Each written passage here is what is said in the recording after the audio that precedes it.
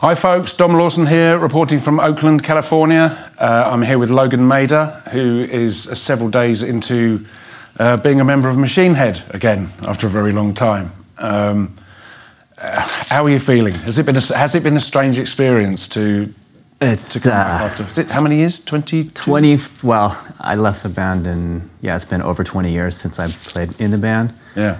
uh, and then yeah so i'm here for the birthday party Yeah. it feels amazing um, i'm really excited i'm really grateful and uh, still feels like not real it's like feels surreal and uh, trying to get my head around it so much going on and uh, I talked to Robb about it about six weeks ago or eight weeks ago. Yeah. And I said, yes, I want to do this. And then I talked to his manager, Joseph, and he said, uh, this is going to be great, but there's don't get your hopes up all the way. There's still a couple things to sort out, like uh, you know availabilities and things to wrap up, and the moving parts to make this tour happen. Yeah. 100%. And uh, so it was about seven days ago that Robb said, Hey, Logan, can you be in Oakland in a week? Yeah. And, and that's when I knew that it shit got real. And uh, I started to believe it for real and started to, you know, get excited and like, holy shit, it's like mind blowing for me. you know? Yeah. Um, yeah, excited, happy. It's gonna be a, it's gonna be a lot of good vibes and basically a birthday party, worldwide. Yeah. You know, celebration of something that was great 25 years ago, and it's still great today. Fortunately, you know, uh, I'm really grateful for that, and uh, a lot of that reason that it's still relevant today, I think, has the, to do with the fact that Robb has kept this thing alive and Yeah.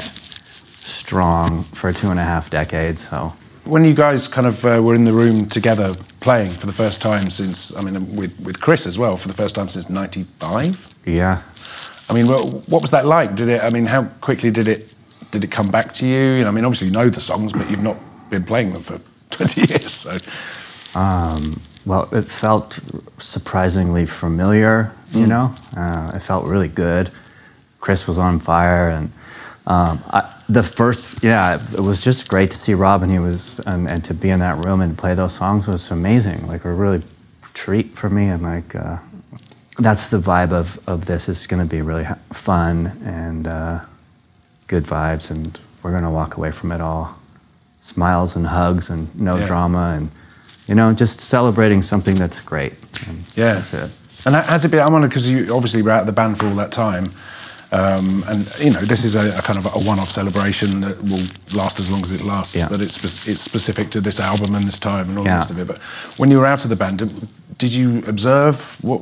Did you pay attention to what Machine Head were doing, or kind of? I, I just wonder what it's like, you know, seeing a band evolve when you were fun- Right. a fundamental part of it when it started. Yeah, then from outside perspective, uh, well, I didn't speak with Robb for about five years after I left the band. And then one day he called me in 2003, just out of the blue, and called me to say that wanted to let me know that he wasn't mad at me anymore because we had, you know, things we had Yeah, of course, friction yeah. and stuff. And that was a really good phone call. I was really happy to receive that, and then we've been on friendly terms ever since then.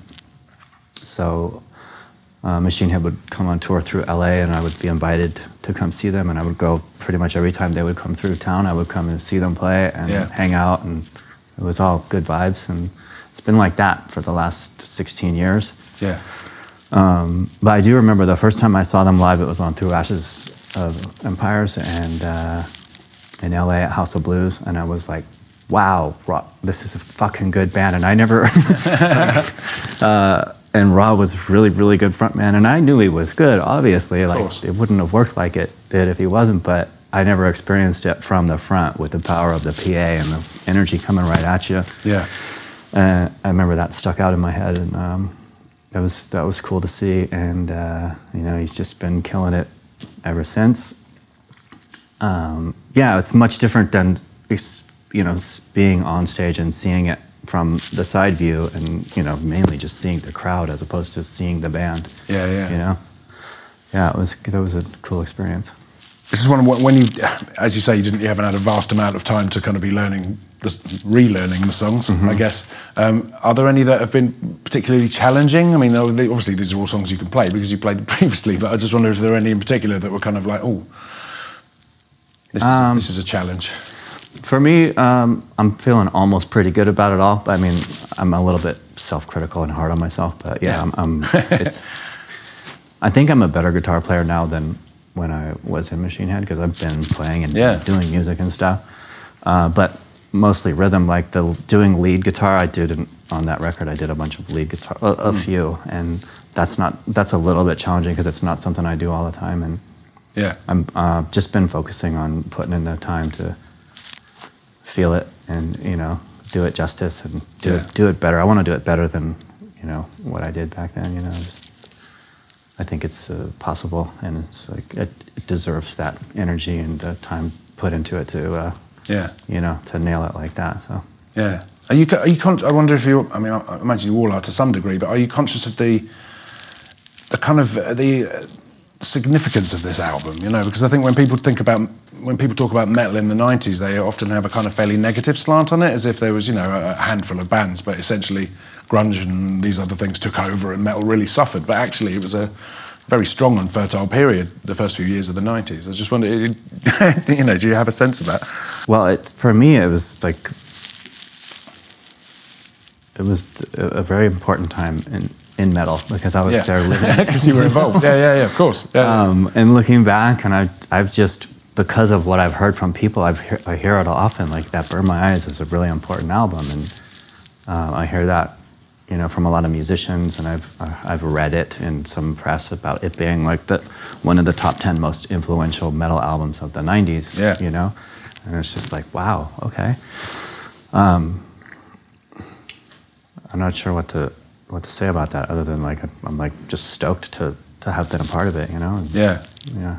Do you think you've all changed as people? I mean, you've only spent a few days. I mean, obviously you've been in touch with Robb and stuff, but you haven't seen Yeah. Chris for a while. I mean, uh, do, do you snap back into the, the old ways, the old personality mix, or is or is Yeah, I mean, it feels really familiar in a lot of ways, but it's really clear that both of them have grown a lot as people. But the same core is still there, and it feels really familiar. And uh, talking about things that happened back then that I hadn't remembered or thought about, it's like it's pretty cool to reminisce and Yeah. old inside jokes coming up and just like laughing my head off because of like you know, and I haven't things I haven't thought about for a long time. It's pretty, Yeah. pretty amazing. As a last question, then, uh, what are you most looking forward to about the tour? Aside from obviously playing shows, that's a given. But I mean, it's you know, Oh. it's, it's a it's a big old, you know, it's going to be around the world and you know playing to a shitload of people, probably a lot, an awful lot of people who you obviously you've not played to before as a member of Machine Head. You know, Yeah, I'm looking forward to uh, perceiving what it's like to be in Machine Head in 2019 because I'll get to do that. I know they have a lot of fans that are like way too young to have experienced Burn My Eyes, and you know maybe they know about it. So it'll be nice for them to see this version, of, you know, like a reinventation or a reinventing you of this. just made up a word. I, Brilliant. I just reinvented like a it. word. um, yeah. So new fans to see this, and me to see that, and yeah, the whole adventure and like camaraderie, and you know, kind of reliving the get to relive something that was great, you know, for, Yeah. for a few months or whatever it is, and looking forward to the whole adventure. fantastic. Thank you, Logan. Thank you. Cheers, man.